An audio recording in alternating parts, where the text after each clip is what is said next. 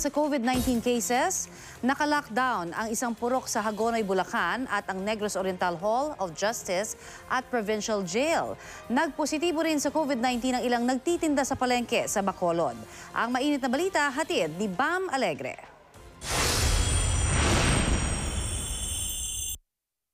Nagpositibo sa COVID-19 ang 25 nagtitinda sa palengke sa Bacolod City. Natukoy sila matapos ang swab test sa mahigit 1,000 vendor sa tatlong malaking palengke sa lungsod. Nasa isolation facility na ang mga pasyente.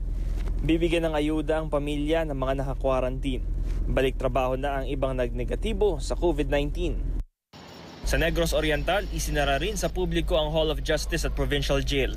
Nakasalamuha raw ng isang abogadong nagpositibo sa COVID-19 ang ilang kapwa niya abogado at ilang person deprived of liberty roon. Isinailalim na sa disinfection ng mga pasilidad. Tutol ang lokal na pamahalaan ng Bawan, Batangas sa rekomendasyon ng Octa Research Group na isailalim sa localized lockdown ang kanilang bayan dahil sa tumataas na bilang ng COVID-19 cases. Paliwanag nila, tumaas ang kanilang bilang ng kaso sa kanilang lugar dahil sa aggressive mass testing. Dumami rin daw ang kaso dahil sa local transmission sa isang kumpanya. Gayunman, iginagalang daw nila ang resulta ng pag-aaral ng Octa Research. Sarado hanggang bukas ang Lipas City Hall sa Batangas para sa disinfection. Limang empleyado kasi roon ang COVID-19 positive. Suspendido rin muna ang mga transaksyon sa City Hall na sa lunes pa babalik. Nakamodified lockdown naman hanggang linggo ang Purok 6 sa Barangay Santo Rosario sa Hagonoy, Bulacan. Tatlong residente kasi roon ang may COVID-19. Ayon sa lokal na pamahalaan, marami naka-close contact ang mga pasyente at patuloy pa raw ang pagtukoy nila sa mga ito.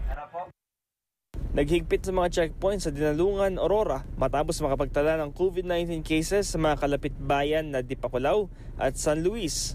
Kailangan magpakita ng Travel Authority, ID at Medical Clearance Certificate o di kaya updated na resulta ng swab test na negatibo. Pinaalalahanan din ng mga residente na sumunod sa health protocols para hindi makapasok sa bayan ang virus. Binuksan na ang pinakaunang RT-PCR test facility sa bayan ng Malang, Cotabato. Bukod sa testing, gagamitin din itong isolation facility. Nasa isang libong sample ang inaasahang mapoproseso sa pasilidad kada araw. Bam Alegre, GMA News.